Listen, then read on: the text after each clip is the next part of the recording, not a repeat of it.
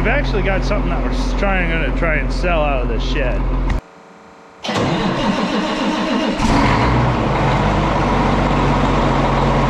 Well, but that's a good start, I guess. Weather stick says it's gonna be a real nice day. Snow pile's about gone.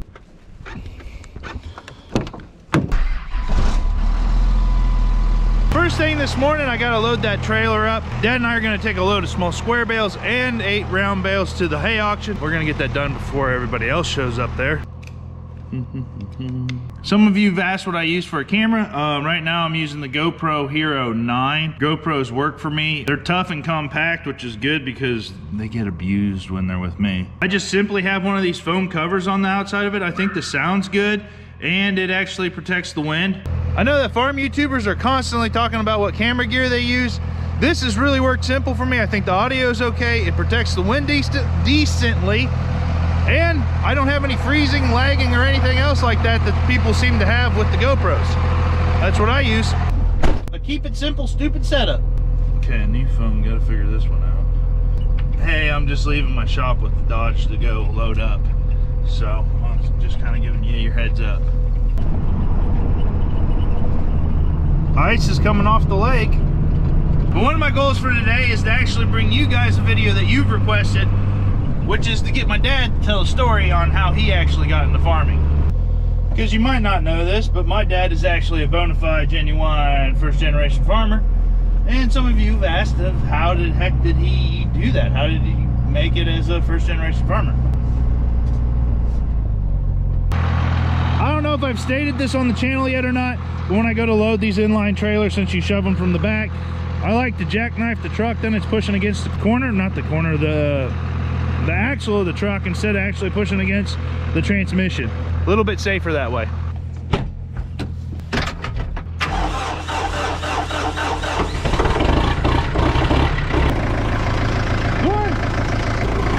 Bandit shrank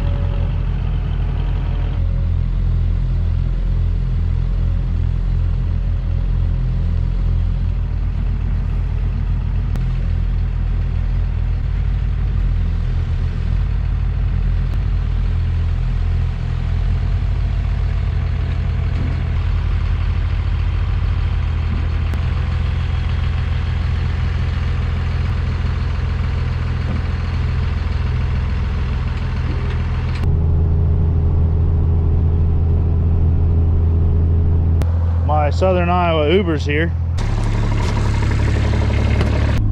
So you going with us? No. Okay. This, however, has not been my best looking load of hay. It's not bad, it's just not great.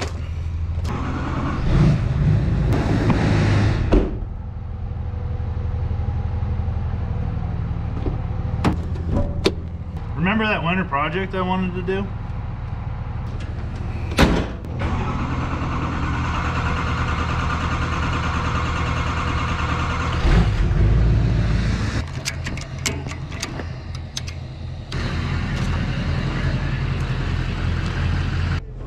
Ready to go.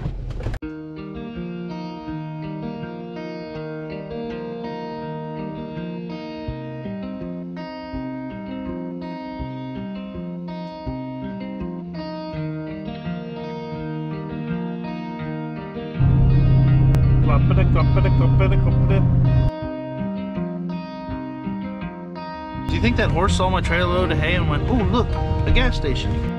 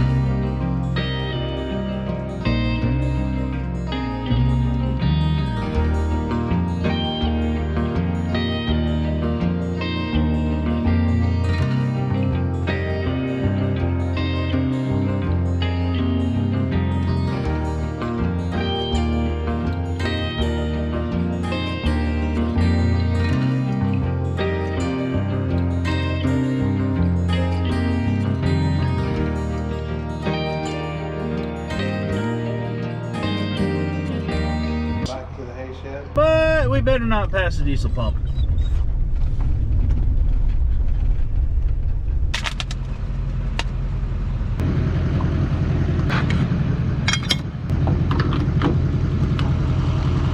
You smell like horses. You smell exactly like a horse barn. Use a stinky dog now. And drop you off at Wayne. So on March 3rd, diesel fuel my 24 hour MFA is 279.9, so basically 280. We went 261 miles, 261.2 divided by 29.42 gallons, 8.87, 31 and a half cents per mile, which I feel like I got better mileage since I was hauling small square bales. I don't know.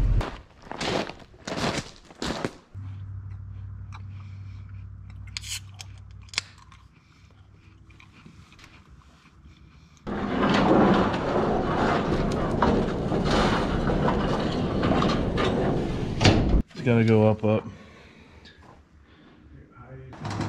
Does it have a hole in the end of it, or is it like that? This will be in the next video for you guys.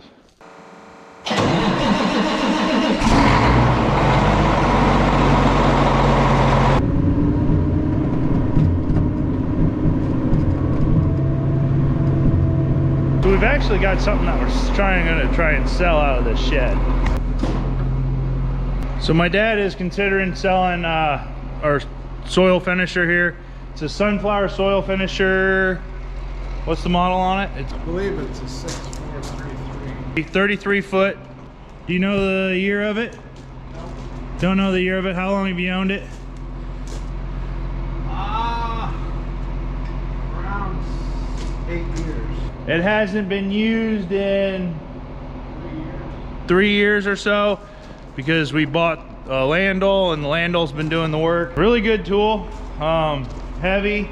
64, 32, 33. Hydraulic disc gangs on the front. Has some rolling baskets behind the disc gangs here. I don't know what size sweeps we got on there. What, nine inch sweeps probably? Yeah. Nine inch sweeps. Most of them are in excellent shape. Replaced a lot of them. I think they're about, most of them are been replaced actually. One, two, three, four, five. Yep, a five bar harrow on the back. It does have a hitch on the back end of it, so if you were to pull like a, a rolling basket or something behind this even, tires are good on it. Hydraulic uh, depth control, good machine. We used to pull it with the 8630. So we pulled it with an 8630 with the Kinsey in it, which you guys have seen. We're selling it. You know how much you want for it? 20,000. My email's down in the description. So YouTube requests more words of wisdom from my father in the 2021 season. It was better than the 2020. More your input on what we're doing type of thing. well, but that's a good start, I guess. And they've asked like the what your story, how'd you get into uh, farming? I always wanted to farm. He's first generation, well, his grandpa farmed. And then it skipped a generation to you. Yeah. his this operation is completely started by him. No family farm that he took over or anything like that, correct? You worked a little bit on farms as a kid. Oh yeah, I worked quite a bit making hay and then driving tractors and heroin and stuff like that up till I was 18, 19 years old And then you went to school at Indian Hills in Ottumwa hmm for electronics. for electronics and worked at US Cellular. yeah, for 18 years. What was your title at US Cellular? Oh, multiple different ones. Network field engineer, project manager. Yeah, I was born in Davenport and we lived in Blue Grass at that time. Yep. and then what then my dad ended up like he said he wanted to farm for a long time so he bought his first farm what year did you buy your first farm 1991. you bought it before i was born Yep. Shortly.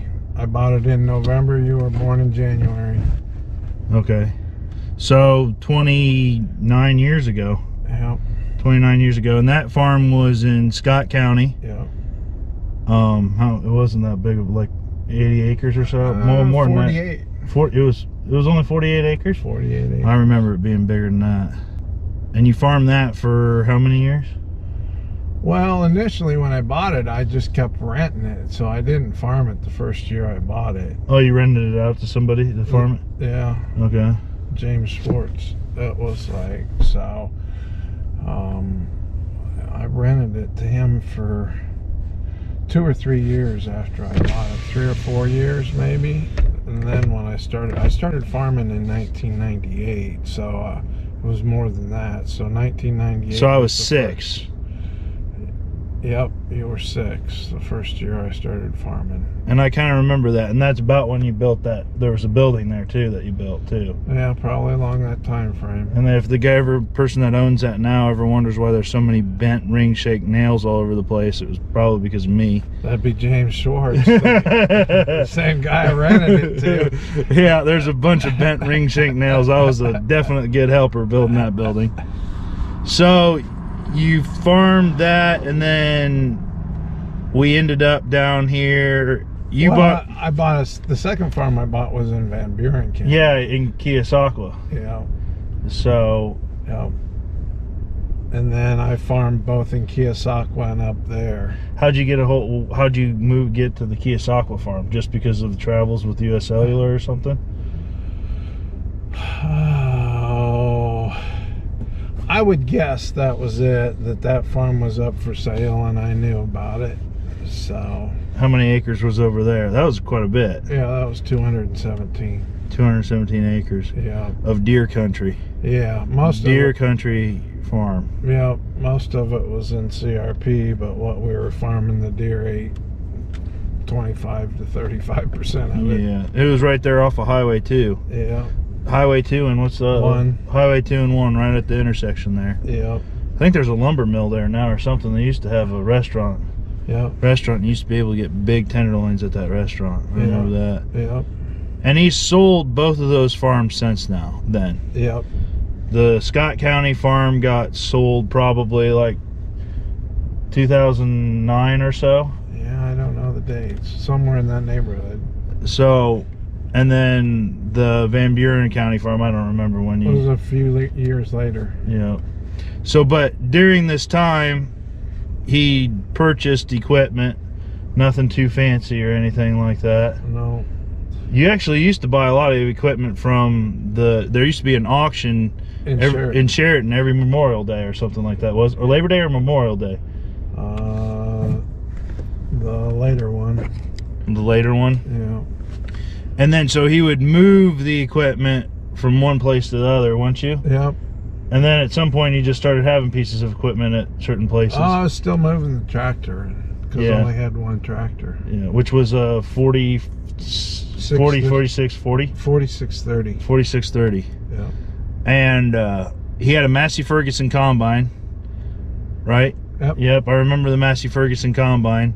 Extremely light in the back end. I just remember every time he'd back up, the back end would about come up off the ground. I remember that. Yeah. Um, Because it had a six row head on it. yeah. They weren't really designed for six row head. or steep hills. so, and then, and then we got into this area through his uh, when he worked through U.S. Cellular. He had to do a lot of project management deals where the cell phone towers, and he bid out the cell phone tower project sites and stuff like that with contractors. Correct. Correct. And there's a contractor down here that told hit my dad that a piece of land was coming up for sale down around here, Yep. and that was what year was that? 1999. 1999 and at the auction the land no sold correct Correct. And I wasn't at the auction. and you weren't at the auction Uh-uh. But then he purchased the land shortly after that Yeah, a few weeks later. but did you purchase the house did you own the house at all ever Yeah, I did. Yep, and then you sold off the house I did. Yep. The same day I bought the farm. I, same day you bought the farm you sold the house Yep. okay i didn't know if you'd ever owned that house Yeah, I did. so that was 1999 Yep. and then you were basically full time at US Cellular Yeah. and At that Full-time time, I- farming. At, at that time, I was farming up in Scott County, Van Buren County and down here. with a full-time job. Yep. and we moved to Cedar Rapids uh, at some point. I don't remember what year that was.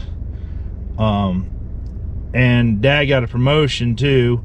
So then you became what was you like the territory manager for The construction manager. construction manager for what territory? Uh, Iowa and most of Iowa and a little bit of Wisconsin, I think.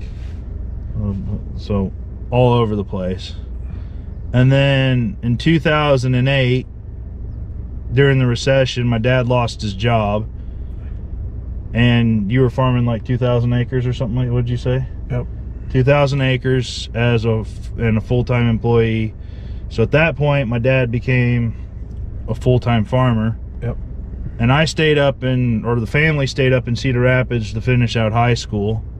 And dad was living down here in a camper, uh, pretty much, Yep. until we purchased the house. And I don't know when That that, was was. 2014. 2014. So the year I graduated high uh, college. So dad's been farming full time since, or full time since 2008. Yep. And I graduated high school in 2010. Went to college, and I've been working for my dad full time since 2014. Correct. And we're heading into the 2021 season, which is supposed to be better than 2020, right? It's about gotta be. But that's to do it for today's video, guys. I've actually got to load up some more hay, if you believe it or not. Hopefully you guys enjoyed that video. If you have, and you've made it this far, don't forget to hit the thumbs up button on the way out and always consider subscribing to the channel. We'll see you the next time.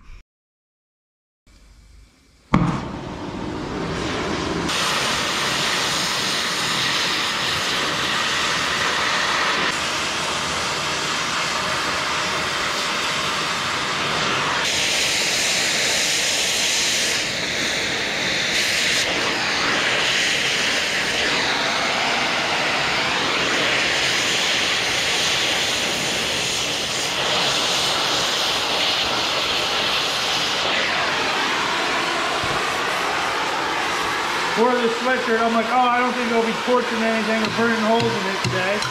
Wrong.